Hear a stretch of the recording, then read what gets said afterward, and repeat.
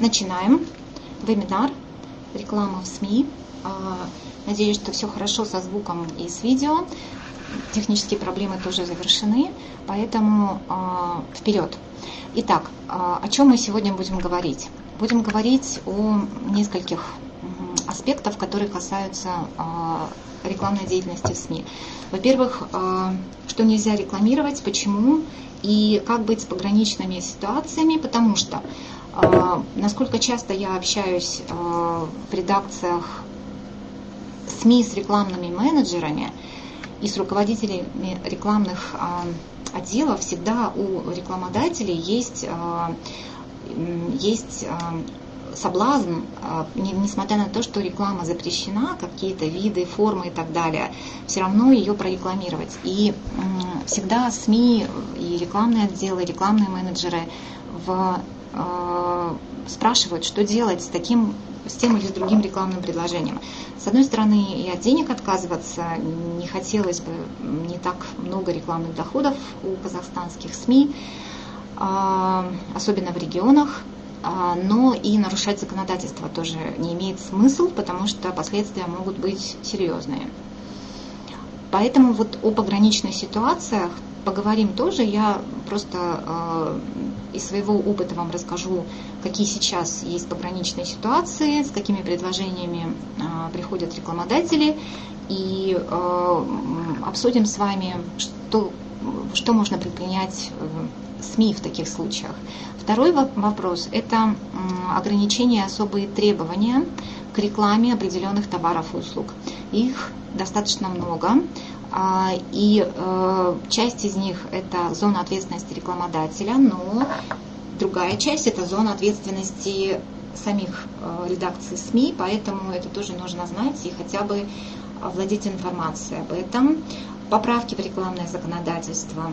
Расскажу э, о ну, один законопроект находится сейчас в парламенте, вот буквально недавно его Сенат вернул в Мажилис.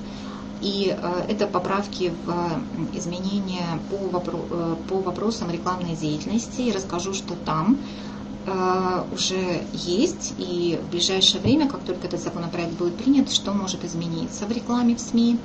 И вопросы и ответы. Спасибо за вопросы. Все вопросы сохранены. Буду признательна вам за новые вопросы. Поэтому вот примерно такой спектр тем, которые мы обсудим сегодня. Если вдруг что-то э, я не рассказала, не учла, можете писать в вопросах в чате. Ну, в чате, может быть, просто какую-то тему, которую хотелось бы. Возможно, я что-то забыла. И э, переходим к темам, которые полностью э, запрещены в качестве рекламы. Я их собрала все. Они в разных законах не только в законе о рекламе, к сожалению. Поэтому вот здесь, на этом слайде, э, все запрещенные виды и э, услуги, э, товары полностью, которые запрещены не только в рекламе в СМИ, но и в других рекламных носителях. Естественно, первое, о чем мы всегда говорим, этиловый спирт, алкогольную продукцию, табак, табачная продукция запрещена полностью. Здесь же касаются э, запреты еще двух видов рекламы. Во-первых, товарные знаки и фирменные наименования, под которыми выпускаются вот эти вот запрещенные виды продукции. И э, запрещена реклама мероприятий по стимулированию спроса и интереса вот к этим запрещенным продукциям. Здесь никаких нет изменений. К сожалению, к большому нашему сожалению, в прошлом году а, поправки в закон о СМИ или о рекламе по разрешению а, рекламы слабоалкогольных напитков, шампанских вин, безалкогольного, а, слабоалкогольных напитков не были поддержаны, и они, к сожалению, так и остались в виде проекта. А поэтому здесь никаких позитивных новостей нет. Более того, э, чуть позже я расскажу о том, э, что еще планируется запретить в отношении вот, э, вот, вот, вот этих запрещенных вещей. Табака, табачных табачной продукции, этилового спирта, алкогольной продукции. Хотя, казалось бы, уже запрещать дальше некуда, уже запрещено в СМИ, все, что можно запрещено, может быть запрещено. Заменители грудного молока, тут все ясно. А, деятельность финансовой инвестиционной пирамиды. Тут вроде бы как тоже все понятно, а, но это вот как раз один из пограничных случаев, о которых я говорила. Как СМИ может определить, это финансовая пирамида, инвестиционная, если кто-то из рекламодателей обращается а, к ним с просьбой разместить рекламу. Но а, в законе а, указано, что речь идет о, а, если реклама предполагает сбор средств от населения и предоставление каких-то услуг и вовлечение других граждан в деятельность вот этой финансовой инвестиционной пирамиды, тогда это можно классифицировать как вот запрещенный вид рекламы. Один из примеров и то, что сейчас мы наблюдаем в нескольких регионах, я не могу сказать, что это типичная ситуация по всему Казахстану, но уже несколько э, редакций СМИ э, обращались по этому поводу Речь идет о а, потребительских кооперативах, которые, а, собственно, это финансовая пирамида, которая маскируется под потребительский кооператив. И вроде бы это некоммерческая организация, реклама некоммерческих организаций, потребительских кооперативов не запрещена, но они собирают э, деньги от населения и э, участники э, этого кооператива получают квартиры на каких-то условиях, при каких-то обстоятельствах. Поэтому э, это вот как раз и сбор средств и вовлечение граждан в, вот, в осуществление вот, вот этой финансовой деятельности, которая приведи там, пятерых человек, они вложат деньги, ты продвигаешься по очереди, все ближе и ближе к получению квартиры и так далее. Здесь все очень погранично, все очень сомнительно. И а, несмотря, вот еще раз, несмотря на то, что м, жилищный кооператив, нет, еще раз объясняю, жилищный кооператив, потребительский кооператив рекламировать можно. В этом нет никаких запретов. Но по а, виду деятельности, которая предлагается в рекламе, можно установить, что речь идет о а, вовлечении граждан вот в построение вот этой финансовой пирамиды вполне а, закономерными последствиями. Пока все нормально, в течение года, предположим, эта финансовая пирамида растет, растет, прирастает и так далее. Но как только происходит сбой системы, начинаются обращения граждан в правоохранительные органы. Безусловно, а, такого быть может не случиться, не вопрос. Но если это происходит, начинается а, следствие по вот заявлениям от граждан, которые а, потеряли свои деньги вот из-за этого мошенничества. И э, начинается разбирательство. Будут ли вовлечены редакции СМИ за размещение рекламы или не будут вовлечены, я не знаю. Но, как правило, конечно, а, при расследовании этих финансовых пирамид и так далее, а, СМИ не привлекаются как канал распространения информации, но вы должны хорошо понимать, что эта деятельность запрещена. Если вы вдруг не можете ее классифицировать как пирамиду, а, ну хорошо, да, возможно, пока это все можно рекламировать. Но если явно рекламодатель настаивает на том, что вот и его реклама говорит о том, что кто-то может приобрести квартиру за какой-то очень скромный вклад, например, там денежный, совсем несовместимый с квартирой, то вы можете, наверное, догадаться, что речь идет о мошенничестве. Тут, безусловно, мы не можем запрещать вам принимать рекламу, давать какую-то нативную рекламу, выпускать это в программах новостей и так далее. Ваша рекламная политика, это ваше дело, ваше право. Сейчас я говорю просто о том, что запрещено. И а, в некоторых регионах, в частности в Алмате, такие потребительские кооперативы очень распространены. Они дают рекламу, в СМИ в том числе, поэтому а, здесь надо быть очень осторожными и надо а, смотреть рекламный макет, соотносить свои риски и так далее. По жилью, которое вот жилье жилых зданий, реклама запрещена, если оно не соответствует проектной документации и гос, государственным правилам, нормативам и правилам по строительству жилья. Что это означает? Это не норма, которая вот прям прописана в законе. Если помните, речь э, шла о проблемах, связанных с рекламой при долевом строительстве сначала. А, и сначала в законе о рекламе, а, когда уже э, было понятно, что из-за а, рекламы вот этих жилых зданий привлекается средства дольщиков, а потом здания не, досма, не достраиваются, э, руководители строительных организаций просто пропадают с этими деньгами и потом достраивает государство и так далее. То есть знают все эти случаи, не будем вдаваться в подробности. Поэтому сейчас этот запрет выглядит э, просто на запрет э, рекламы строительных зданий, вернее жилых зданий или строящегося жилья, которая не соответствует э, проектной документации. И э, я так понимаю, что речь идет о, если уже здание построили, то э, пока его не приняли, пока госкомиссия не приняла его в эксплуатацию, реклама, продажи квартир в этом здании запрещена. Ольга, у вас был вопрос по поводу строительств, э, лицензии. Ну, да, строительные организации должны получить лицензию, поэтому это тоже еще один из, э, одно из ограничений. Лицензируемая деятельность сопровождается, естественно, указанием номера и госоргана, который выдал лицензию. Если такой лицензии нет в наличии, э, поэтому лучше, конечно, себя обезопасить и дождаться получения этой лицензии. А, электронное казино, интернет-казино.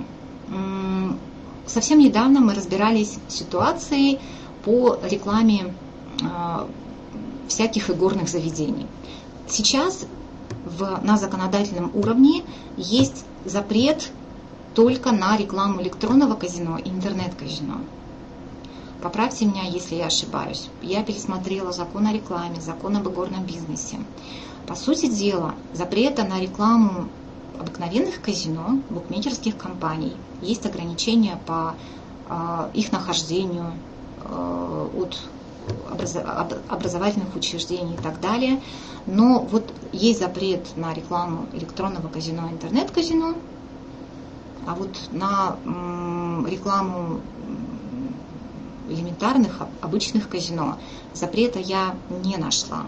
Но, тем не менее, они не часто рекламируются в СМИ. И тут возникает еще вопрос, они же ограничены территориально, и, по сути дела, все знают, где две этих территории в Казахстане находятся. Поэтому э, реклама вот каких-то исполнителей, которые у них там дают концерты и так далее, есть, я ее вижу, а вот реклама, к сожалению, э, как источник э, доходов для СМИ, э, ну, игорные заведения, наверное, их можно рассматривать, но вот ограничения пока касаются только вот таких видов. Электронное казино, интернет-казино. Что еще а, здесь отметим? Религиозные организации, духовные учебные заведения. У вас был хороший вопрос по поводу, э, почему учебные заведения другие. Запрет касается только рекламы религиозных организаций, духовных учебных заведений. А, размещают рекламу только с мая по август. Ну, наверное, да, потому что они заинтересованы в привлечении абитуриентов. Я посмотрела закон об образовании, закон о рекламе.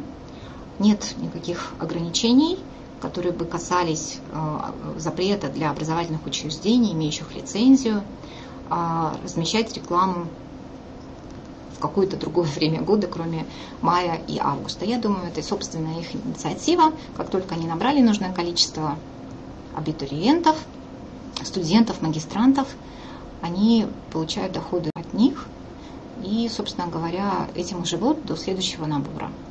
Поэтому здесь а, ситуация такова.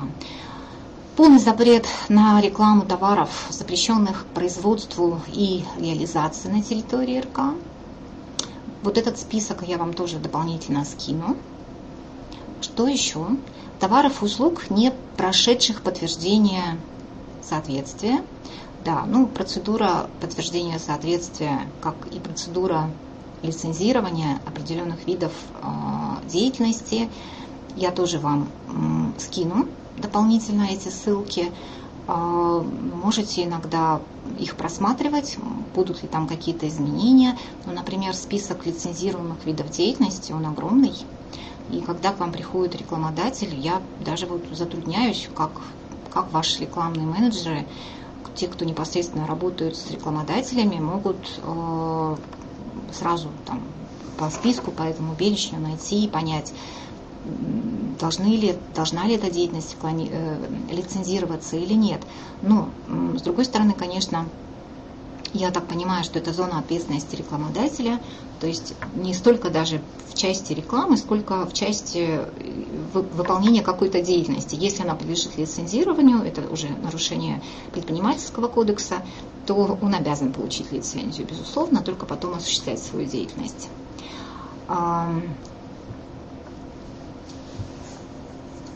Давайте мы договоримся, что а, вопросы а, мы будем отвечать на них чуть позже.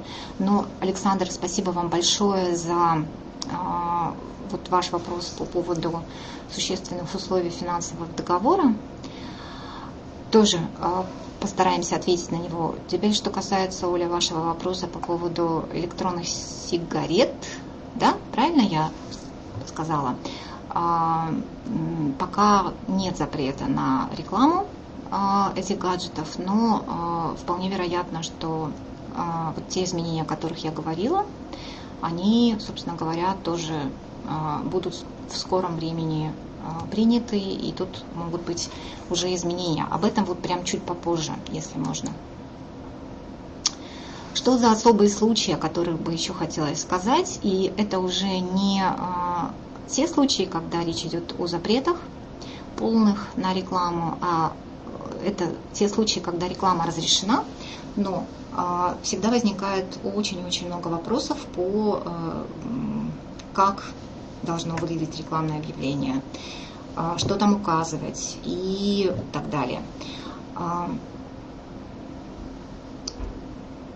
что это за особый случай? Первое и очень важное – это реклама лекарств. Лекарств, БАДов, медицинских услуг, медицинских учреждений, организаций. А, различных изделий медицинского назначения и так далее. Затем а, вот реклама служебного оружия, военной техники и продукции двойного назначения. Даже, наверное, мы не будем на ней подробно останавливаться, потому что не так часто я вижу в СМИ рекламу. Она, во-первых, разрешена только в специализированных зданиях, а, на специальных выставках, и мероприятиях, поэтому не, не, не слишком актуальна эта тема, не так актуальна, по крайней мере, как реклама лекарств, медицинских услуг, реклама финансовых услуг и так далее. Реклама лицензируемой деятельности, вот тут, да, конечно, это большой спектр э, рекламодателей, которые, деятельность которых лицензируется, и здесь вот поговорим более подробно, в том числе про рекламу финансовых услуг. Коллеги, вопрос по знахаркам. Все будет предоставлен ответ, не переживайте, все вопросы сохранены. Социальная реклама. А, сейчас по социальной рекламе не так много требований, но их будет больше, как только законопроект, который сейчас находится в парламенте, на рассмотрении будет принят и будет введен в действие. Тоже расскажу, какие. Вакансии на рынке труда. Это очень такой особый случай, и всегда э, у редакции СМИ, у рекламных менеджеров есть много вопросов по поводу, э, по поводу вот, э, объявлений о приеме на работу и так далее. Что значит дискриминация, что значит не дискриминация и по каким признакам ее можно различить и отделить дискриминацию от недискриминации. И, как всегда, довольно много требований к СМИ при распространении рекламы. Больше всего от этого страдает телерадиокомпании, к сожалению. Менее всего интернет и печатные издания. А, но вот этих требований, опять же, будет скоро больше, если вот все поправки, о которых мы тоже поговорим, будут приняты. А, поэтому вот начинаем подробненько рассматривать все эти случаи. Первое, что я хочу сказать по рекламе лекарственных средств и э, рекламе БАДов. Есть два вида правил, которые касаются рекламы э, вот этих товаров. Все, что я перечислила, лекарственные средства, медтехника и так далее, и так далее, и БАДы – это уже другая история. И вот ссылки, которые вы видите, кому-то, если мы, коллеги, а, при том, что вы получите запись и презентацию, мы еще вышлем вам все нормативные вот эти акты, которые рекламируют, а, которые регулируют рекламу определенных товаров и услуг. Я уже сказала в начале, что а, все требования, в том числе к СМИ по рекламе разных видов товаров и услуг, раскиданы по разным законам. Безусловно, есть закон о рекламе, но все, что касается рекламы лекарств и вообще здравоохранения, аптек в том числе, БАДа в том числе, знахарок и народных целителей, это не закон о рекламе, это кодекс о здоровье народа и системе здравоохранения. И там прям есть отдельная статья 17, которая так и называется «Реклама в области здравоохранения». Вот это вот общие требования, э, что не должны э, допускать э, при рекламе в СМИ, если речь идет о рекламе вот всего, что касается медицины и лекарств, и БАДов, и так далее, и так далее. То есть вот это общие требования, которые нужно соблюдать. Понятно, что иногда редакции СМИ сами готовят рекламные сюжеты и рекламные макеты. Но иногда рекламодатели сами их приносят, и вы должны понимать, что в некоторых случаях а, соответствие вот этих требований, если что-то запрещается или не допускаются, собственно говоря, вы должны просто понимать, что этого в рекламе быть не должно. А, я отметила вот э, рекламу предложения о совершении незаконных сделок в отношении тканей, части тканей, органов человека. Это то, что называется реклама донорства, донорских органов. А, Все, что касается донорства крови, там нет проблем с этим. А вот что касается доноров, э, рекламы донорских органов, тут вот есть интересные, э, предстоят изменения по размещению вот этих объявлений а, и рекламы, в том числе там, в соцсетях и в интернете.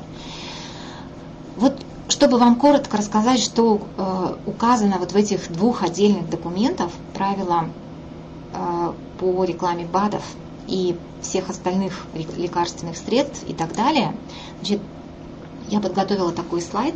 Ну, по, по рекламе лекарств все ясно. А, они должны быть и БАДы тоже Первое, зарегистрированы на, и разрешены к применению на территории Казахстана. А потом, что касается рекламы лекарственных средств, по первому вот этому правилу а, должна быть предварительная оценка рекламы проведена. Это делает не рекламный отдел, не рекламный менеджер, не сам рекламодатель. Эту предварительную оценку рекламы ее делают экспертные организации, которые а, есть в каждом регионе.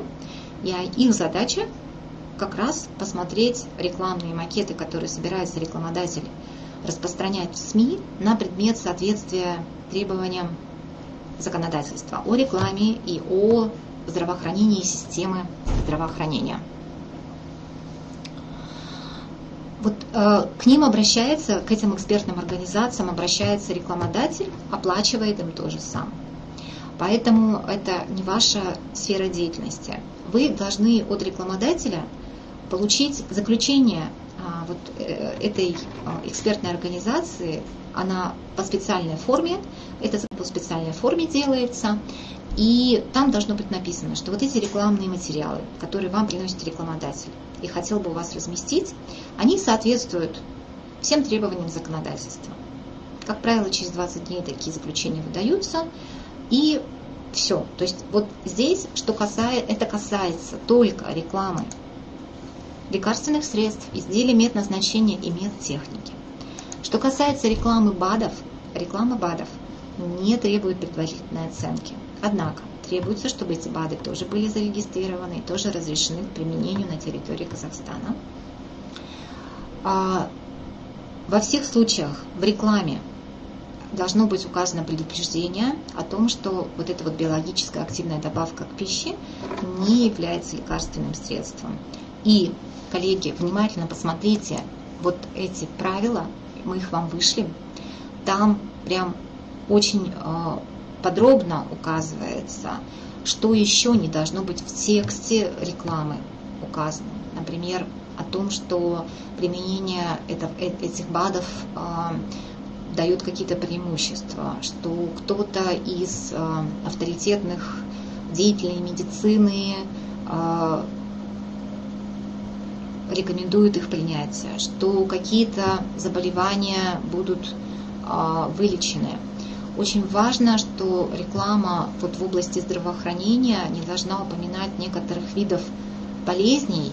Они тоже есть вот в этих правилах. Это касается так называемых нескольких заболеваний, а, в том числе ВИЧ, СПИД и так далее, и так далее. То есть э, то, что лечится особыми способами, особыми препаратами и так далее. А, есть особые требования к контексту рекламы при распространении на телевидении и в интернете. Это тоже есть вот в этих правилах, о которых я говорила. И что касается теперь традиционной медицины и народного целительства. Смотрите, тут какая ситуация. Есть разница между традиционной медициной и э, народным целительством. Термина знахарки в кодексе о здравоохранении и системе здравоохранения нет.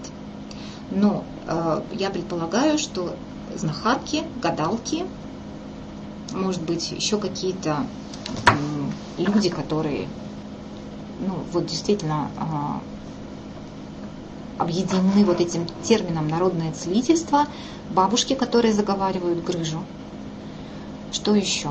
А, ну вот, вот все вот, вот эти вот, вот вся совокупность вот этих умельцев, они объединены вот как раз термином целительство и народная медицина. А это вот уже есть специальная статья в Кодексе о здравоохранении, э, системе здравоохранения и здоровья народа.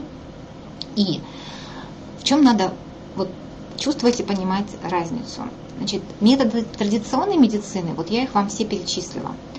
Это мануальная терапия, э, фитотерапия, лечение там, средствами природного происхождения, гомеопатия и так далее. То есть если к вам приходит какой-то с рекламой мануальный терапевт, они, как правило, работают там в своих кабинетах, их реклама достаточно чиста в СМИ, и услуги очень популярны. А вы должны точно знать, что это не народный целитель. Это как раз метод традиционной медицины, и а, они должны получить специальную лицензию. А чтобы получить специальную лицензию, у них должно быть медицинское образование. Это требования, которые очень четко прописаны в законе, в кодексе. Поэтому а, и сама реклама ваша, э, рекламный макет, он не требует предварительной оценки никакой экспертной организации, но вы должны знать, что все, вот, что перечислено под методами традиционной медицины, лицензируется деятельность, и лица получают лицензию только те, кто а, имеет медицинское образование.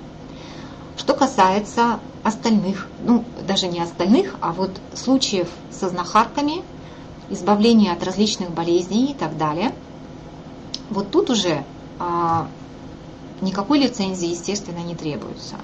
Никто от них медицинского образования не а, требует тоже. Мне кажется, что да, реклама такая есть, и она несколько такая вот может казаться неэтичная или вот как раз пограничным случаем. Но возможно, что вот сейчас разрабатывается проект нового кодекса о системе здравоохранения, здоровья народа. Возможно, это тоже будет скорректировано. Единственное, что э, пока есть в кодексе о системе э, о здоровье народа, это то, что проведение сеансов массового целительства в СМИ запрещено. Я посмеялась, мне вспомнилось сразу э, сеансы там, целительства по телевидению, я поняла, что эта норма, этот запрет как раз про это. Ну, мне кажется, что это сейчас не актуально совсем, но надо разобраться, вот вы правы абсолютно, все, кто пишут а, по поводу целительной, целительности и так далее, есть, а, по-моему, требуется еще заключение ассоциации народных целителей. Я, коллеги, этот вопрос еще буду уточнять. Но что касается вот законодательных норм, то тут вот так.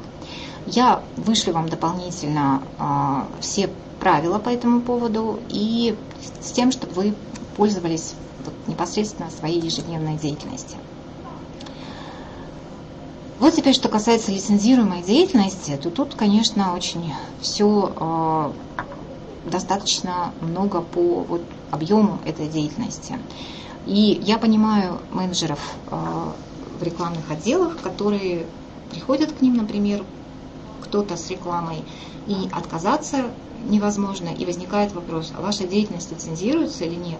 Иногда рекламодатель даже может быть и не в курсе, нужно ему получать лицензию или нет. Вот для того, чтобы вы были в курсе, я вам скинула вот эту ссылку, это перечень разрешений первой категории, именно лицензии, он огромный. Он огромный, и э, я думаю, что вам нужно обращаться к нему в экстренных случаях, когда вы не понимаете, когда есть какой-то пограничный случай. Нужно ли э, иметь лицензию на эту деятельность или не нужно. Что касается самой рекламы, а, в рекламе указывается номер лицензии, наименование органа, выдавшего лицензию. Как правило, номер лицензии всегда сопряжен с датой выдачи лицензии. Это, да, насколько я понимаю, это одно из самых ну, популярных, э, одна из самых популярных претензий а, при проведении мониторинга деятельности СМИ, когда а, лицензируемая деятельность рекламируется без указания номера лицензии, или не хватает наименования органа, выдавшего лицензию, или еще что-то происходит. Или наоборот, есть наименование, нет номера. Указывайте оба вот эти компоненты, я думаю, что все будет нормально. Социальная реклама. Пока в социальной рекламе все очень просто. По действующему закону о рекламе. Объем не ограничен и не, требует, и не установлен никакой объем. А, есть только ограничения по упоминанию спонсоров. На телевидении, на радио это по 3 секунды о каждом. А, и а, речь идет о том, что в социальной рекламе не допускаются упоминания о конкретных марках, моделях, артикулах и так далее, знаках обслуживания. А, физических, юридических лиц, но, однако, есть исключения, когда речь идет о госорганах, когда речь идет, например, социальная реклама по уплате алиментов, понятно, что там департамент исполнения судебных актов будет фигурировать, да, как человек, ну, как организация, которая вот эту рекламу заказала и так далее. Лицах, которые нуждаются в лечении и так далее. То есть тут все нормально. НПО допустимые и лица, которые нуждаются в сборе денег на лечение, тут нет никаких проблем. Как только э, законопроект, который в рекламе будет э, в парламенте находится, будет принят, э, будет введен объем социальной рекламы 1%, не менее 1% от общего объема вещания на телерадиоканалах в месяц и специальные интервалы предусмотрены, в которых вот обязательно нужно размещать социальные ролики. Поэтому вот мы ожидаем принятия этого закона для того, чтобы понять э, степень изменений. Возможно, еще что-то изменится, пока законопроект находится в парламенте, на рассмотрении в Сенате, в Мажилисе и так далее. Ну, будем контролировать ситуацию, извещать вас об изменениях, с этим нет никаких проблем. Теперь, что касается вакансий на рынке труда, Ну, э, вы, наверное, тоже, э, если не все редакции СМИ, то часто одно, одна из не менее популярных претензий со стороны э, контролирующих органов в ходе мониторинга рекламной деятельности СМИ – это объявление о приеме на работу дискриминационного характера. Это очень интересно. Это очень интересно, потому что закон о СМИ, причем не закон о рекламе, а закон о СМИ, запрещает размещать информацию о вакансиях для приема на работу, которая содержит требования дискриминационного характера. Ну, что такое дискриминация, указано в Трудовом кодексе. Вот все вот эти мотивы, а, которые перечислены ниже на этом слайде, они могут быть основаниями а, для дискриминационного подхода при приеме на работу. Это и происхождение, и пол, раса. Ну, раса, ладно, не актуальна для нас, я думаю. Пол однозначно, возраст однозначно, место жительства и физические недостатки. Это касается людей с ограниченными возможностями, такое тоже бывает. Принадлежности к общественным объединениям. А вопросы веры вот здесь нет, но, как правило, а, отношение к религии, вот вопрос веры. Как правило, а, сейчас, в последнее время, а, можно встретить а, объявления о вакансиях, которые вот, можно отнести к дискриминационным по поводу религиозных убеждений и отправления вот, религиозных обрядов. Поэтому здесь очень и очень осторожно и аккуратно Здесь, собственно говоря, нет никаких требований по поводу лицензии, не лицензии и так далее. Здесь вот только а, вы должны понимать, что вот такие требования установлены. Это зона ответственности СМИ. Раз этот запрет установлен а, в законе о СМИ, то, э, естественно, э, зона ответственности редакции СМИ – это вот как раз э, наличие отсутствия вот этого дискриминационного подхода к объявлениях о вакансиях на рынке труда. Поэтому э, здесь крайне-крайне осторожно и аккуратно. Пожалуйста. Теперь э, к требованиям вот по рекламе, к СМИ. Я уже говорила о том, что чаще всего и больше всего требований э, и ограничений по рекламе установлены для телерадиокомпаний, к большому-большому сожалению. Их достаточно много. И они касаются и телевидения, и кабельного вещания, и так далее. В этом плане очень повезло печатным СМИ. У них нет требования по языку. А, им не нужно переводить объявления, а, макеты рекламные на два языка, на казахский и русский. Достаточно того, что вся реклама, если в свидетельстве о постановке на учет указано язык издания русский или казахский, реклама может соответствовать только русскому, э, только русскому, только этому языку или быть только на казахском. Да, могут быть э, рекламодатели, которые хотят рекламу на других языках, ну, пожалуйста, никто не против. Но э, обязательного требования по переводу рекламы, по размещению э, роликов обязательно на казахском, обязательно на русском, такого для печатных СМИ нет. А, как и это не предусмотрено для сетевых изданий, для интернета в целом. А, если, ну вот мы говорим про казахский язык, то а, язык рекламы на телевидении – это да, казахский и русский, тут без вариантов. Но еще при этом есть требования по суммарному объему рекламы на других языках на, для телевидения в интервалах времени 6 часов с 0 часов местного времени.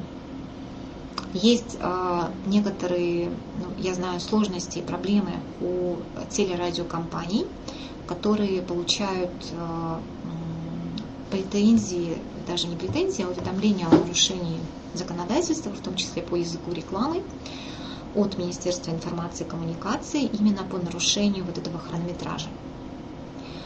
А, но э, в разных ситуациях может быть разная ситуация, э, разные подходы. Я знаю, что э, хронометраж вручную считается, может не совпадать. В таких случаях мы всегда рекомендуем писать возражения Министерство информации и коммуникации на уведомление о нарушении законодательства по языку рекламы и а, добиваться пересмотра уведомления или аннулирования. Если вы считаете, что вы правы, сейчас закон позволяет это делать.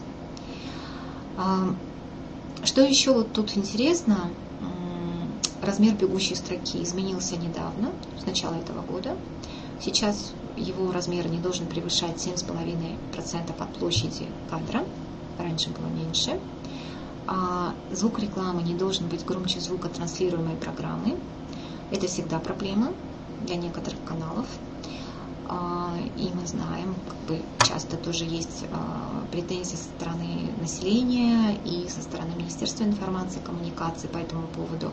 Это опять же все ограничения, которые касаются телевидения. К сожалению, большому их довольно много.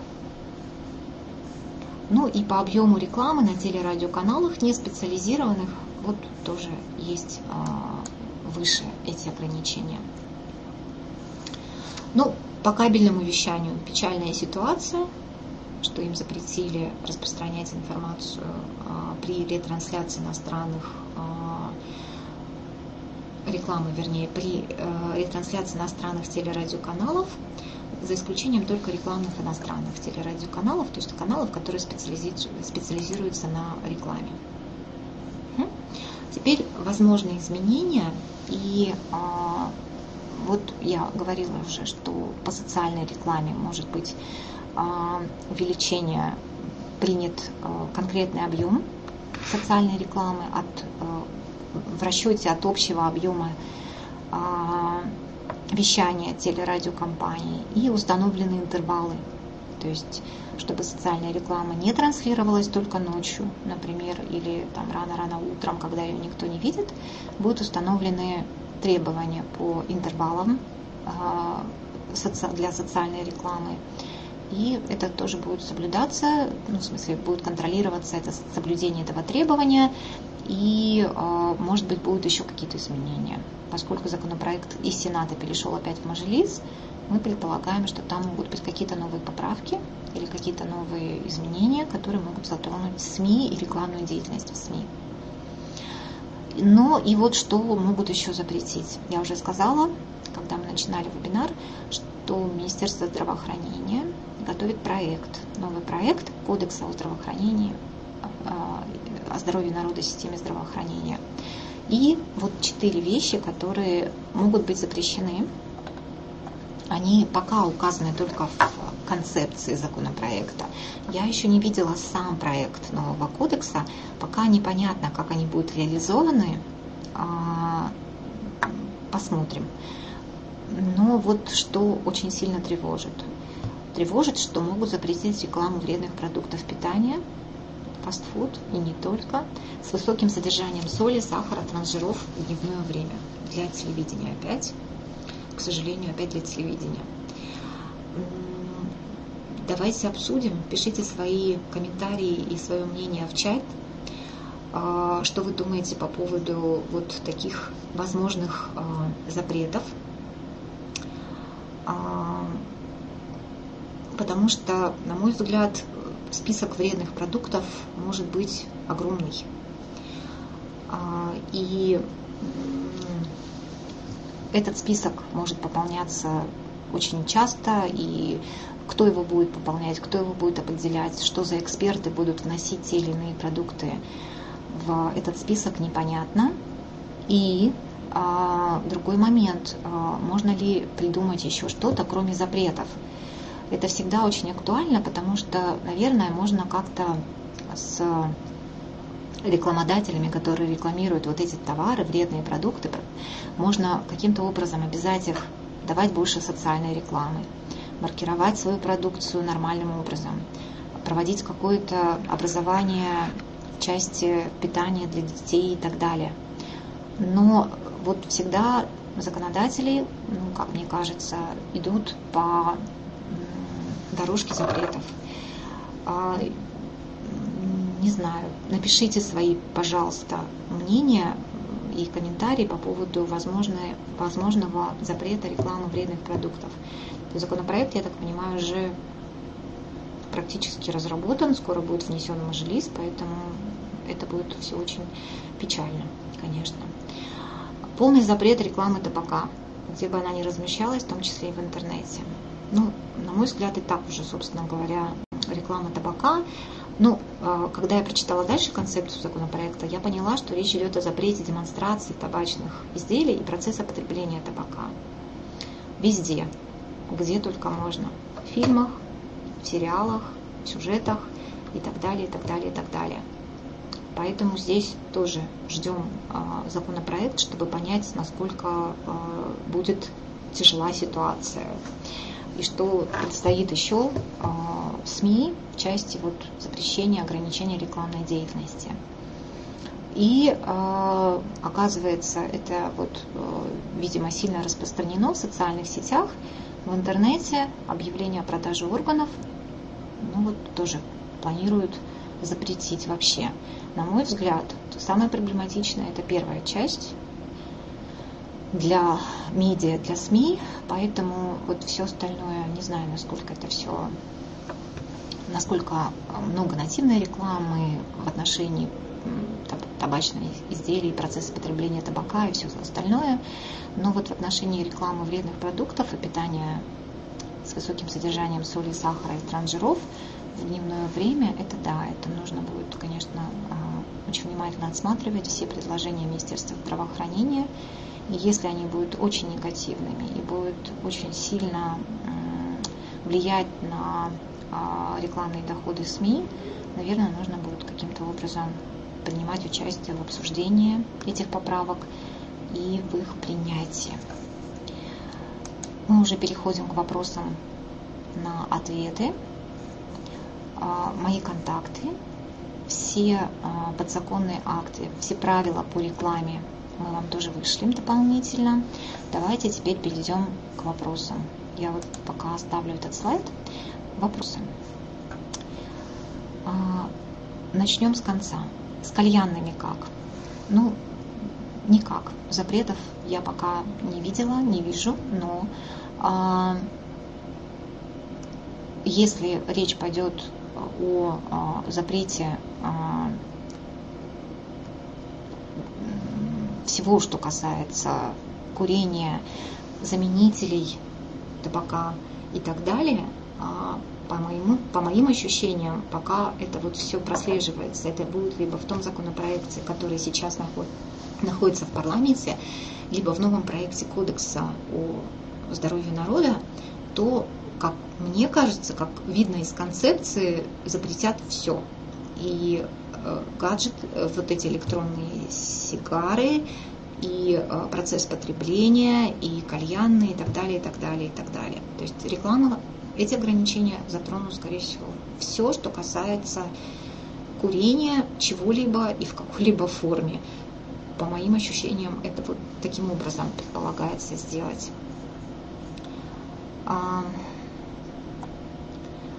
Я начинаю читать вопросы. Спасибо, дорогие коллеги, за то, что, за то, что активно проявляете интерес к этой теме. По, по поводу знахарок. Э, я перешлю информацию по поводу э, вот этих рекламы вот этих объявлений, которые касаются знахарок, гадалок, целителей и так далее но пока понятно, что они не запрещены и имеют место быть в рекламе. Запрета пока на них нет. Защищают от заговора. Да, это вот по, по поводу этого проблем. Ну, что касается предсказаний и помощи в решении житейских проблем, вы абсолютно правы. А, говоря о том, что можно изменить, а, можно изменить рекламный макет, рекламное объявление так, чтобы не было проблем с законодательством, чтобы не возникали вот эти пограничные ситуации, которые а, Министерство информации и коммуникации будет воспринимать как нарушение законодательства или общество будет воспринимать как нарушение законодательства. Поэтому можно от чего-то отказаться в рекламном макете, и это не исключит э, заключение рекламного договора и оплату этого, этой рекламы, безусловно. Но зато вы э, будете избавлены от дальнейших проблем и как-то обезопасите себя и свою редакцию. Поэтому это хороший способ, да. То есть, когда речь идет не о том, что знахарки, гадалки, народные целители избавляют от болезней, у них нет медобразования, этого не требуется, да, но это может быть проблематично. А просто оставить действительно там, предсказания, помощь в решении житейских семейных проблем, ну, что-то типа аналог психолога. Пожалуйста, без проблем. Теперь, что касается, да, вот а, электронных сигарет. Поэтому а, а, мысли о запрете электронных сигарет уже давно не просто мысли, а уже, мне кажется, могут быть внесены вот в тот законопроект, который сейчас в парламенте находится. Поэтому на самом деле или в новый кодекс, поэтому пока это не запрещено действительно, но все может измениться в ближайшее время. Это так. Если это рекламировать как гаджет, реклама гаджетов ну, совсем не запрещена, за исключением каких-то особенных, о которых, да, можно говорить, конечно, в рамках этого вебинара, но, собственно говоря, они касаются таких ну, интимных сфер деятельности жизни нашей, простите. Бывают случаи, когда в статьях клиенты сводят информацию о своем товаре на минимум и боятся нарушить закон о конкурентности, опасаясь иска от монопольной службы. Ну, в общем, да, закон о рекламе очень много э, пишет о том, какая реклама может быть признана заведомо ложной, недостоверной, неэтичной, ограничивающей конкуренцию и так далее. Речь об этом. А, поэтому загляните в закон о рекламе, и вы э, с ужасом увидите, что ограничений по характеристикам рекламируемого товара, а, последствиям применения, использования, сравнение рекламы, мой товар лучше, чем чей-то еще, это все является ненадлежащими методами рекламы. Это абсолютно точно, и действительно могут быть сложности, и даже э, эти сложности могут перерастать в судебное разбирательство. И да, комитет по э, регулированию естественных монополий и защите конкуренции действительно следит за конкурентной средой и за исполнением законодательства э, о конкуренции. Поэтому просто э, прочитайте один раз закон о рекламе, и есть несколько видов рекламы, которая является ненадлежащей. И вы поймете, что, возможно, ваши клиенты правы, в том плане, что сравнение рекламы проходит по определенным правилам. Нельзя, например, говорить, что там мой порошок э, будет лучше, чем порошок такой-то фирмы. Указание вот, э, конкурирующих товаров тоже невозможно в рекламе. Поэтому здесь довольно много ограничений, но оно, наверное, имеет какую-то логику, какой-то смысл в, для, именно для потребителей. Да, почему мы не можем рекламировать строящуюся недвижимость, если строительство не началось? Клиенты говорят, что пока они дадут разрешение на строительство, они не имеют права рекламироваться. Ну, не только даже когда нет лицензии. Оно понятно, они даже строить не имеют права, пока не получат лицензию. Это так. А, а насчет рекламы а, самого, самих жилых зданий, где, например, продаются квартиры, то вы сейчас, например, заметили, что уже, к сожалению, э, к счастью, вернее, нет такой ситуации, которая была в период расцвета долевого строительства, когда только выкопали фундамент, дали рекламу, деньги собрали и все, да, чаще всего. А, поэтому пока теперь а, дом не принят в эксплуатацию или не прошла какая-то там очередная фаза строительства, реклама в СМИ э, не дается. Э, или дом закончен, строительство закончено, а не подписан государственный акт э, о приеме в эксплуатацию. Тоже реклама невозможна. То есть тут вот, по-моему, это все очень очевидно и логично, в первую очередь для потребителей. А прием металлолома, нужно ли нам указывать номер лицензии или не обязательно. А, у меня на одном из слайдов указаны виды лицензируемой деятельности. Нужно посмотреть.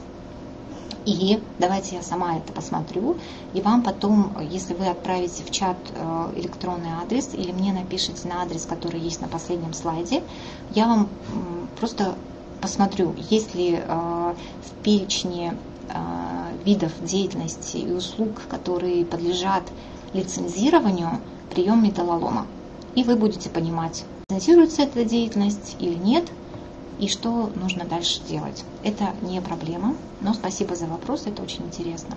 По поводу учебных заведений я уже сказала, нет никакого запрета, есть только запрет на рекламу э, духовных и религиозных образовательных учреждений. Это да, это есть. А, есть ли какой-то коммерческий учебный центр, который рекламирует образование за рубежом, в частности, конкретно иностранный вуз. Обязан ли он при рекламе указывать лицензию? Вот это вот очень интересный вопрос, и он касается всего иностранного, что рекламируется у нас здесь. Например, клиники за рубежом, которые проводят какие-то операции, учебные заведения и так далее, и так далее. А нужны ли э, номера лицензии и так далее. Ну, собственно говоря, да, нужны, но, насколько я поняла, а, э, рекламодатель, который обращается к вам, например, сама какая-то клиника или э, образовательный какое-то учреждение образования или иностранный вуз, а, они предоставят, предоставят вам эту информацию. Сложнее всегда с посредниками, которые, например, как коммерческий учебный центр, рекламируют образование за рубежом. Но э, здесь, мне кажется, можно выйти из ситуации, попросив данные о э, лицензии или о какой-то регистрации в государстве, где все вот это располагается, вуз, клиника и так далее, и так далее. Поэтому здесь э, достаточно, наверное, сделать этого. Но если сам рекламодатель, это сама зарубежная клиника, российская, например, или еще что-то, они укажут это в любом случае, безусловно. То есть тут нет никаких проблем с этим. При размещении рекламы, да, вот мы как раз говорили, достаточно ли только их лицензии? Ну да, достаточно, пока только достаточно, да. А Эйван финансово-инвестиционный проект, это хороший вопрос. Это хороший вопрос. А, у меня нет на него конкретного ответа, а, является ли это пирамидой или в понимании закона о э, рекламе, где есть указан запрет.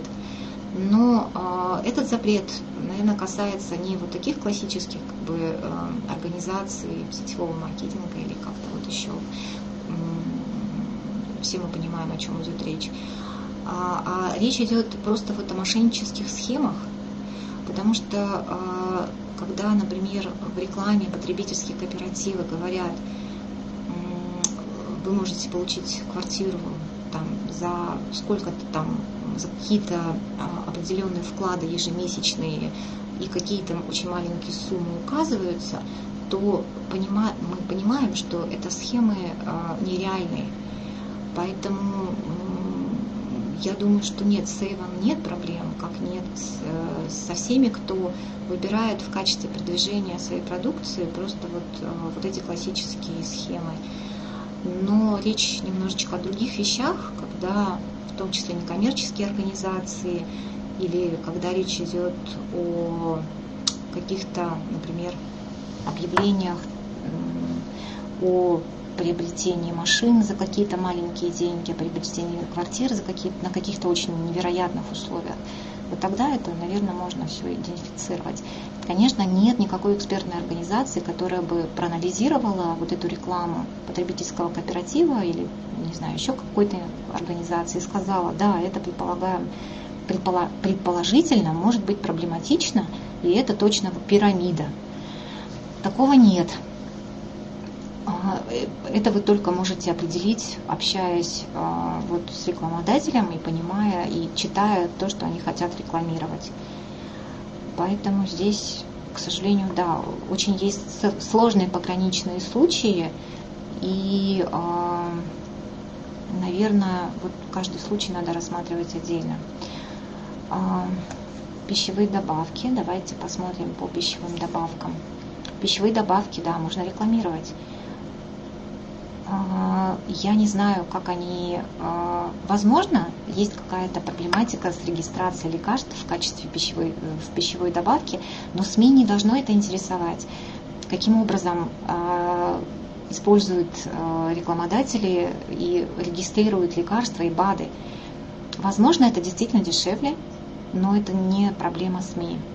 Для СМИ нужно знать, для рекламных отделов, что при рекламе лекарства от рекламодателей они должны получить специальное заключение по специальной форме, где будет написано, что экспертная организация такая-то провела а, анализ, полный анализ соответствия рекламных макетов на предмет требований законодательства, и все соответствует. Тогда вы совершенно спокойно просто а, публикуете рекламу или выдаете в эфир сюжет рекламный, не опасаясь каких-либо последствий. То есть у вас на руках это заключение, и экспертная организация в случае каких-то проблем несет ответственность, как и рекламодатель за соответствие там, требованиям и так далее. Ваша зона ответственности – это только язык, время ну и, собственно, указание вот этих вот э, требований по лицензированию и так далее, и так далее. То, что есть в законе о СМИ и в законе о рекламе, но только то, что касается вас как рекламного канала, как реклама распространителей. В некоторых случаях СМИ действительно это еще и реклама производителей, и тут, конечно, да, когда вы сами все готовите, а не вам приносит рекламодатель готовые макеты, особенно что касается рекламы БАДов, потому что реклама БАДов не требует никакого экспертного предварительного заключения, то вы опять же обращаетесь вот к этим двум правилам, о которых я говорила, и ссылки на которые я давала, и смотрите, что в общем не, не, не должна содержать реклама вообще чего-либо медицинского. Там тоже не все нет ничего сложного, э, нужно просто ну, вывести для себя какой-то минимум этих требований. Например, нельзя указывать избавление от болезней, нельзя э, давать мнение каких-то авторитетных специалистов э, или вообще каких-то специалистов, которые рекомендуют применять именно этот предмет. То есть там немного этих требований, но они все достаточно простые, применимы. А массажный кабинет – нужна ли лицензия. Опять обращаемся к перечню видов услуг, которые требуют э, лицензии. Я тоже посмотрю, Вера, и тоже вышлю э, информацию об этом для того, чтобы вы знали, понимали. Вообще есть э, желание сделать э, какой-то справочник для редакции СМИ, для рекламных отделов, э, но очень много появляется новых видов товаров, мы не успеваем за рынком товаров и услуг, столько всего э, нового приходит в качестве рекламируемых товаров и всего остального, поэтому как можно предусмотреть все, я не знаю, но попробуем это сделать. По массажным услугам, да, сообщу, нужна ли, нужна ли лицензия или нет. Подают объявление о наборе студентов. Это тоже дискриминация. А, если речь э, Ольга, вы вышлите, пожалуйста, прям текст а, объявления, а,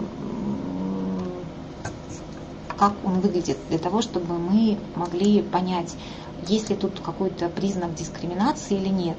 Давайте я на этот слайд, который касается вопросов дискриминации, место жительства возраста, отношение к религии убеждения. Но вот тут социального имущественного положения, ну, по поводу занятости нет. Студент, не студент, школьник, не школьник, ничего такого нет. Я не знаю, можно ли отнести такое объявление дискриминационным, по-моему, нет.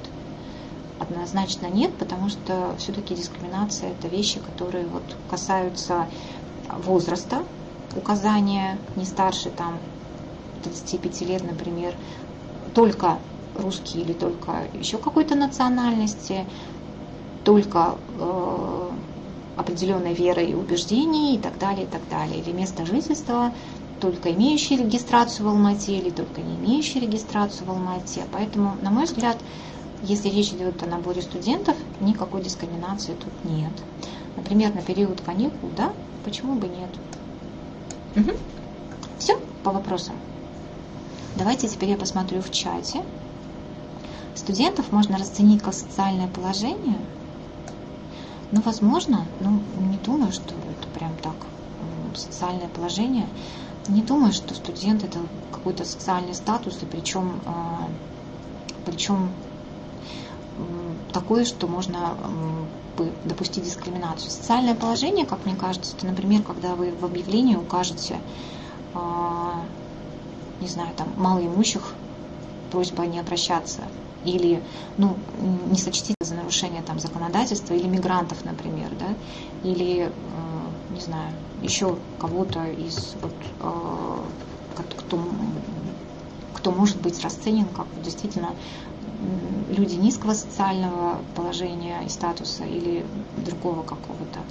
Поэтому здесь, мне кажется, в отношении студентов, студентам не беспокоить, запрещено указывать. А студентам не беспокоить, это вакансия работе, Константин? Да, ну, хотя, казалось бы, да, что тут такого. Это интересно. Запретов и ограничений еще больше. Да, дискриминация в объявлениях о сдаче недвижимости – это интересный вопрос. Запрет на дискриминацию касается не сдачи недвижимости. Обратите внимание, только приема на работу. Поэтому, что касается сдачи, э, сдачи недвижимости в аренду, это тут вряд ли э, это будет расценено как нарушение законодательства, если никаких изменений в ближайшее время не примут. А речь идет только о запрете, именно запрете рекламы в СМИ, а именно про прием на работу. И сама а, проблема дискриминации на рынке труда, она чуть больше и детальнее расписана в Трудовом кодексе. Посмотрите, пожалуйста. Подработка для, для пенсионеров. Ну, да, а почему только для пенсионеров? Ну, наверное. Да, про рекламу финансовых услуг сейчас дойдем. А, ну, давайте тогда про рекламу финансовых услуг. Это э, большая проблема на самом деле. Речь о финансовых институтах и так далее. А, существенные условия договора в рекламе финансовых услуг должны быть, безусловно. Это тоже требование, одно из требований законодательства, но, э, как правило, все стараются как-то так вот э, найти какие-то варианты и какие-то возможности, чтобы рекламодателя не потерять и не получить уведомление о нарушении законодательства. Поэтому э,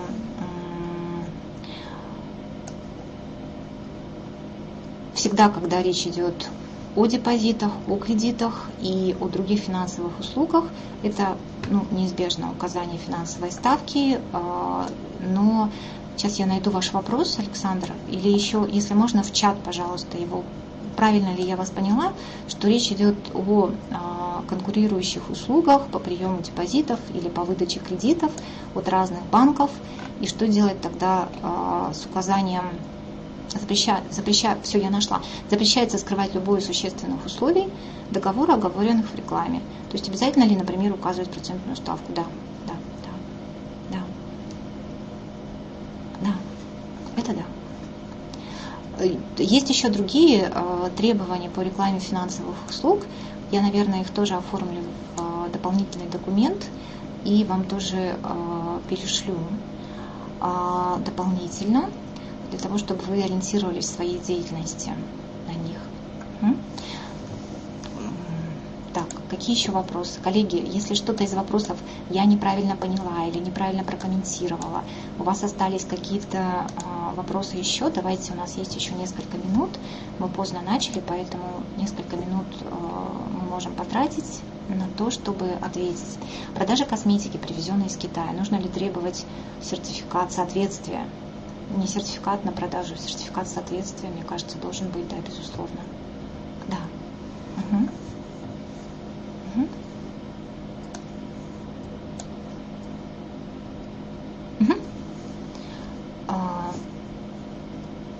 Еще еще раз я э, напоминаю о вот возможных изменениях в ближайшее время.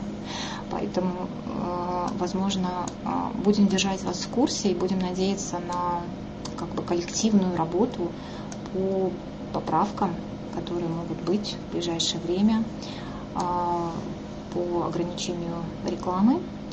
И надеемся на то, что сертификат соответствия, Ольга, а, должен быть просто у рекламодателя. Если я сейчас вот несколько слайдов прокручу, просто запрещается реклама, а, запрещается реклама в СМИ товаров, которые не прошли соответствия, подтверждения соответствия. Поэтому а, ну, я еще все перепроверю и вам тогда дополнительно тоже отправлю информацию а, по этому поводу. Может быть, а, есть где-то список, ну, я предполагаю, что он должен быть список товаров услуг, которые запрещены к производству и реализации на территории Казахстана, и вот товары и услуг, которые не прошли подтверждение. Возможно, есть реестр, и он, наверное, должен быть однозначно товаров и услуг, э, которые прошли подтверждение. Возможно, реестр есть в каком-то таком доступном виде, и вы можете всегда проверить, там, косметика из Китая, она прошла подтверждение соответствия процедуру или не прошла. Я уточню этот вопрос. Спасибо большое за вопрос. И э, я тогда дополнительно тоже, мне тоже интересно в этой ситуации разобраться. И э, тогда всем участникам мы дополнительно перешлем еще и эту информацию. Вам спасибо большое за интерес к этой теме. А,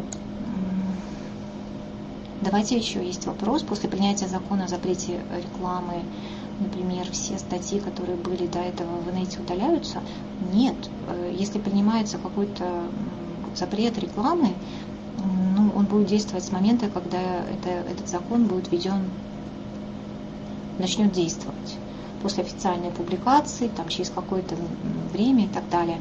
Я не думаю, что в этих поправках, на, где будет полный запрет на э, демонстрацию потребления курения и на рекламу электронных сигарет и так далее, и так далее, будут еще требования брать, удалить все статьи, всю рекламу, которые был, были опубликованы до этого. Не думаю, что такое возможно. Поэтому, мне кажется, это, слишком было бы, на мой взгляд, потому что и так-то речь мы ведем о том, что впереди еще какие-то ограничения рекламной деятельности, при том, что никаких позитивных новостей в этом плане нет. Больше всегда ограничений, чем а, каких-то э,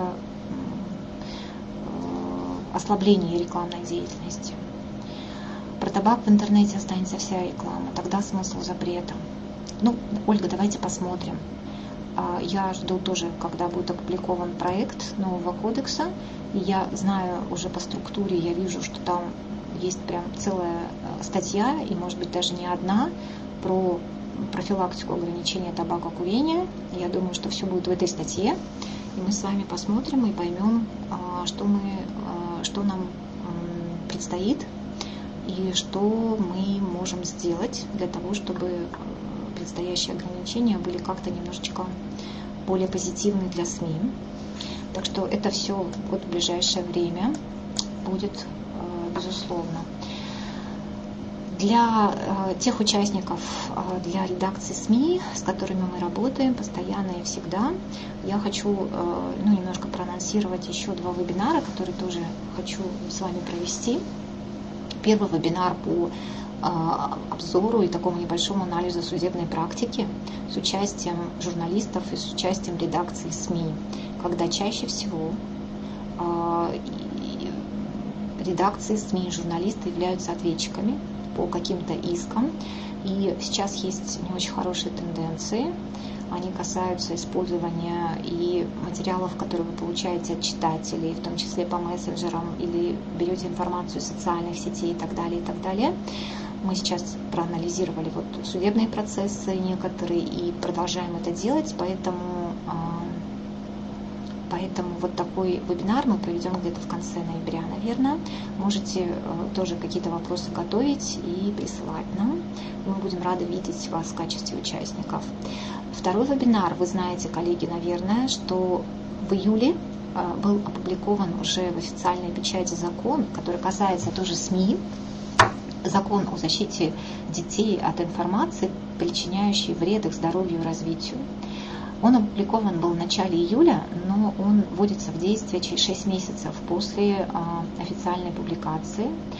И сейчас а, как раз готовятся подзаконные акты, а, которые касаются будут СМИ и вопросов проведения возраст, классификации и маркировки информационной продукции.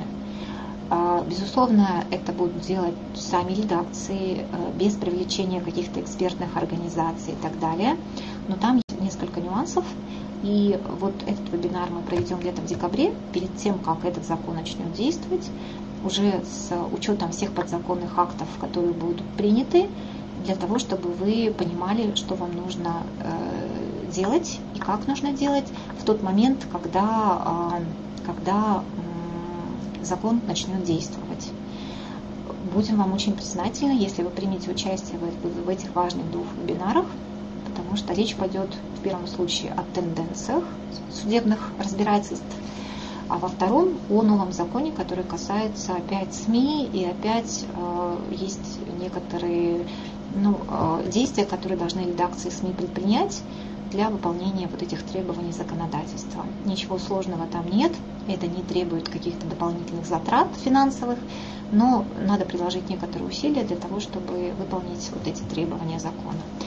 По поводу аббревиатуры Филипп Морриса, да, это то есть в э, рекламе, сейчас я найду его, я вижу дважды вопрос, Оль, что э, у вас был вопрос по рекламе аббревиатуры Филипп Морриса, но я не вижу сам вопрос.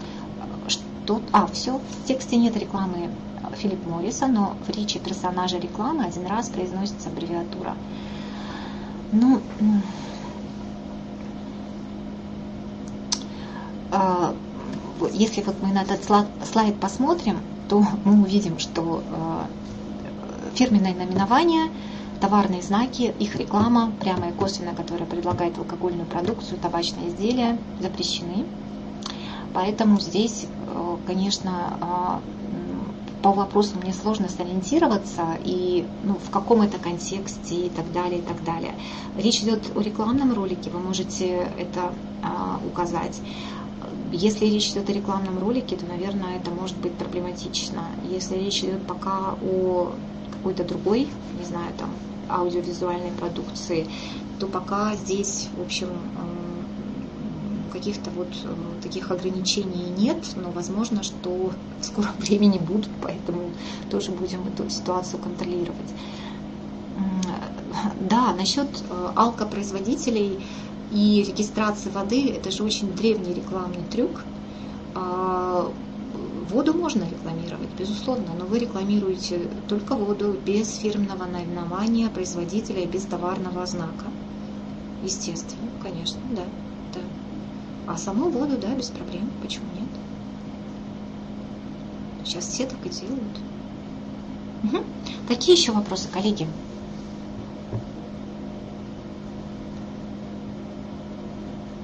Если вопросов нет,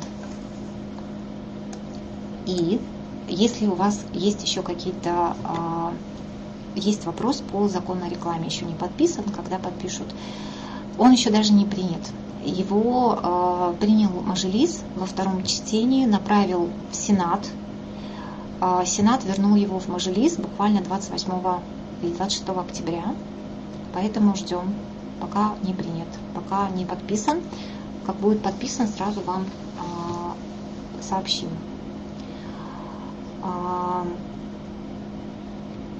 Все. Коллеги, мой адрес указан на последнем слайде. Вот он.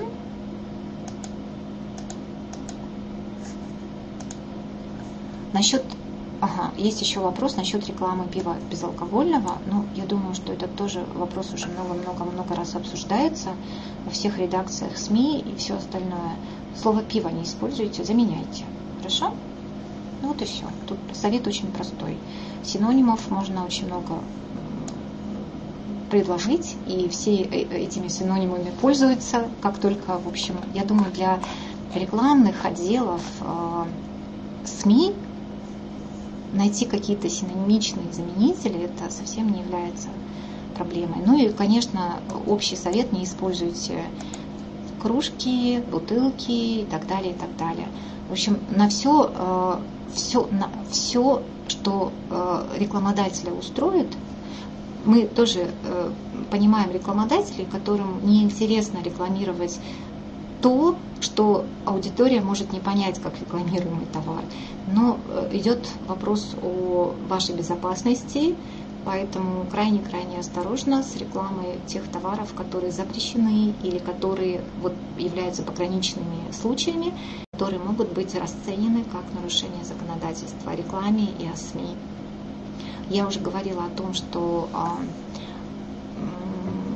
зона ответственности редакции СМИ по рекламе, она а, достаточно ощутимая. Не, конечно, не в, том, не, не в полном аспекте, как там несет рекламодатель, например, за содержание рекламы, за соответствие э, требованиям, за наличие лицензии, за наличие, за наличие сертификата соответствия, подтверждения и так далее. Но а, тоже прилично много требований и ответственность тоже довольно не слабая, административная, но тем не менее. Поэтому крайне-крайне, коллеги, аккуратно. Если возникают какие-то проблемы, вы всегда можете обращаться к нам или в любое другое НПО, которое занимается вопросами медиа. Будем рады вам помочь. И, пожалуйста, если... И спасибо вам большое за участие. И, пожалуйста, э, давайте вместе объединимся, когда речь пойдет о, об ограничениях, которые касаются рекламной деятельности СМИ, потому что, конечно, мы все заинтересованы в том, чтобы рекламные доходы у СМИ увеличивались, а не снижались а, за счет дополнительных ограничений по рекламе. Их и так довольно много, а, поэтому вот какие-то следующие ограничения мы будем понимать, что они, конечно, очень-очень будут негативно отражаться на деятельности, на рекламных доходах СМИ. А мы хотим, чтобы вы были финансово устойчивы, чтобы вы развивались, чтобы вы производили хороший контент для аудитории. Поэтому э, очень сильно в этом заинтересованы. Ага, коллеги, я забыла предупредить для тех, кто еще остался, не отключился от нас в нашем вебинаре. Спасибо большое, Шайкен.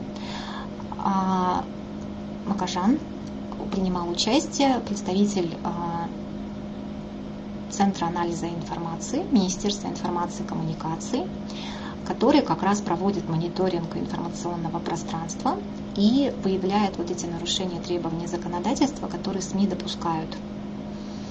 И ваш вопрос, ваш комментарий, спасибо большое, а, говорит о том, что многие представители телеканалов интересуются, как отличить рекламу от телеторговли – или как отличить программу от телеторговли. Да, думаю, для СМИ было бы полезно получить какие-либо разъяснения по этому поводу.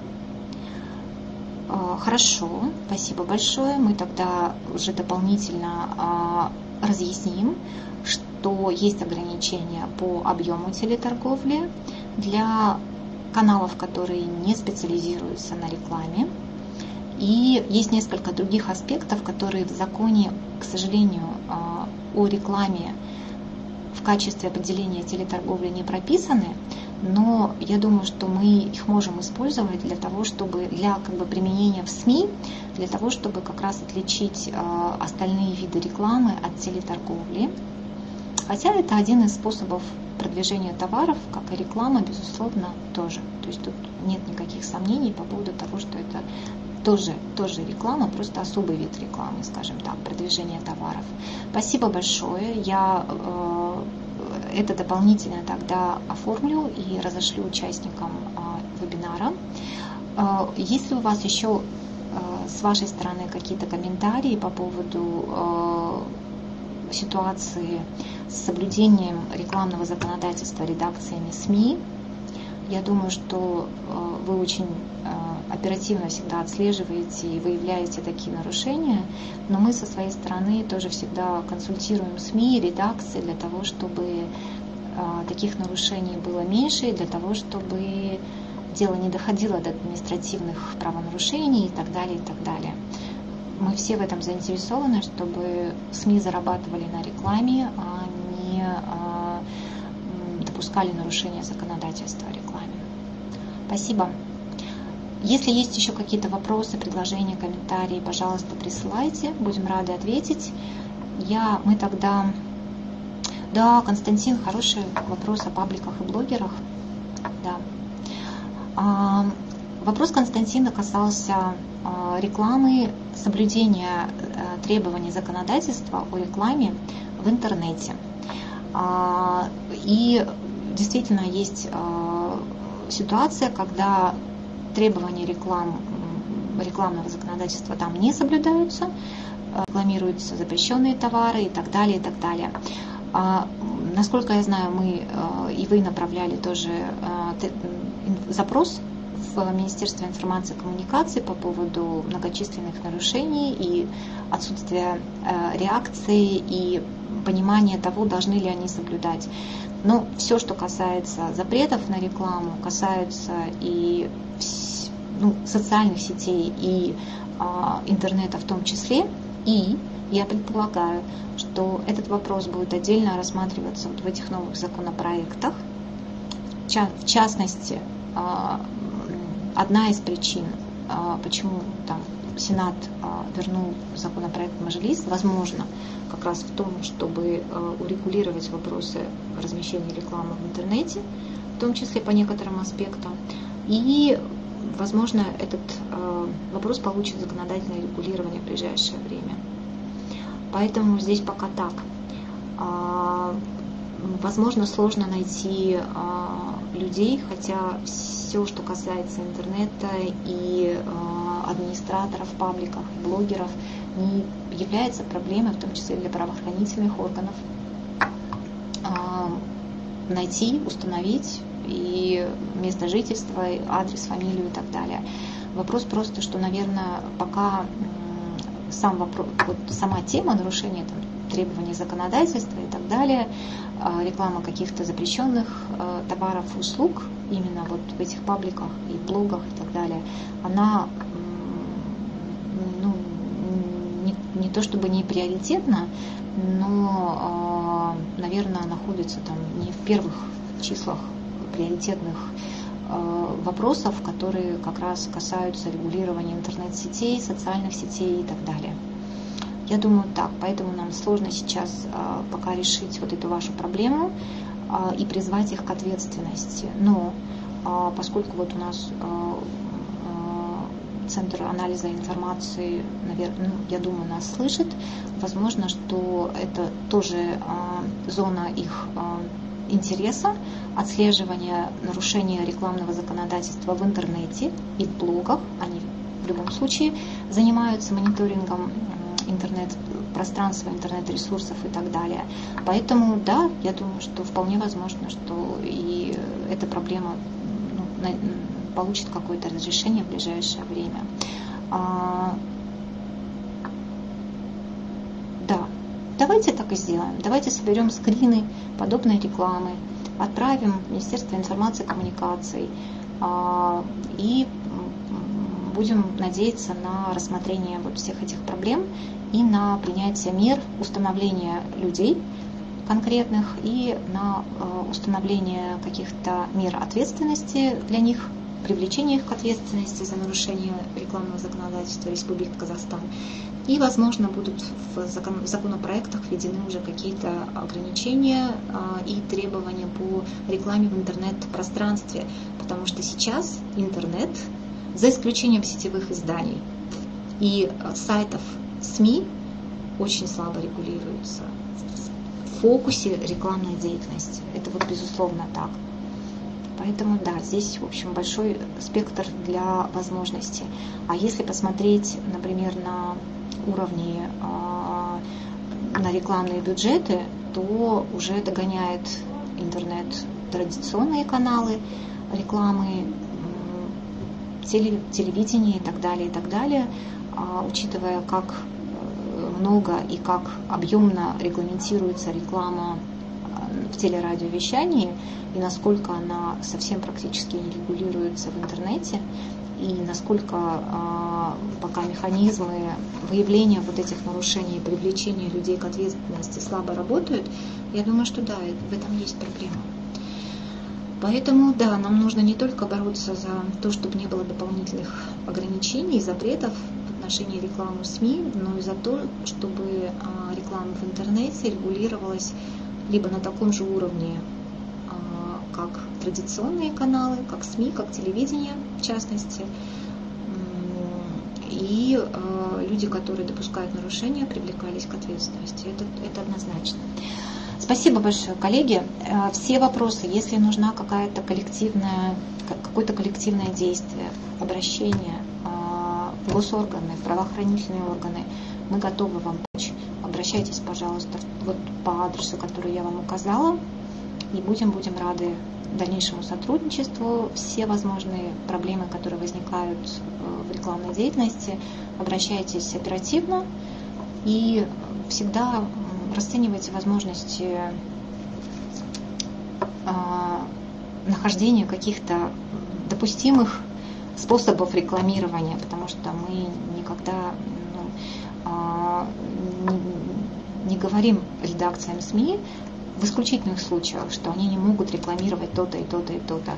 Всегда можно найти способ и возможность договориться с рекламодателем, предложить какой-то метод и разумное решение, компромисс для того, чтобы, с одной стороны, не нарушить законодательство о рекламе, и с другой стороны, не упустить рекламные доходы и рекламные договоры и рекламодателя. Поэтому вот все, все настроено на это и на то, чтобы, конечно, уже не стоит вопрос о том, чтобы были позитивные изменения и что-то запрещенное разрешили рекламировать, уже вопрос стоит о том, чтобы не, было, не были введены дополнительные и существенные ограничения в рекламной деятельности, которые могут сильно и негативно повлиять на рекламные доходы СМИ. Об этом речь. Спасибо всем большое, коллеги. Хорошего вечера, предстоящих выходных дней и удачи, и хороших рекламодателей, долговременных рекламных доходов, контрактов и устойчивость вашим редакциям и поменьше проблем, в том числе э, правовых, связанных с рекламной деятельностью и других тоже. Спасибо. До свидания. Была очень рада вас всех увидеть и услышать. Всего хорошего.